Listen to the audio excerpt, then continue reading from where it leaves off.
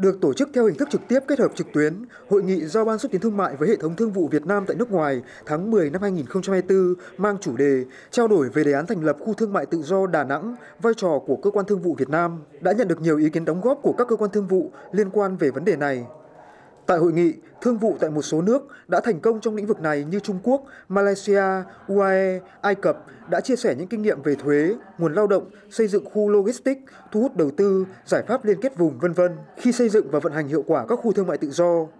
Đối với Đà Nẵng, với vị trí chiến lược, hạ tầng bao gồm cảng biển nước sâu, cảng hàng không quốc tế, khu vực biên giới đường bộ và biển, khi được đầu tư và có chiến lược đúng hướng, khu thương mại tự do sẽ tạo điều kiện thuận lợi để thu hút các luồng hàng hóa giao thương, kết nối, đầu tư quốc tế và nội địa, là cơ sở quan trọng trong định hướng thúc đẩy thành phố Đà Nẵng trở thành trung tâm logistics, thương mại phát triển, kết nối nội địa, khu vực và quốc tế. Những chia sẻ kinh nghiệm quốc tế trong lĩnh vực này là bài học và đóng góp quan trọng cho quá trình xây dựng, vận hành các khu thương mại tự do nhìn từ góc độ quản lý nhà nước, chính quyền địa phương và cộng đồng doanh nghiệp.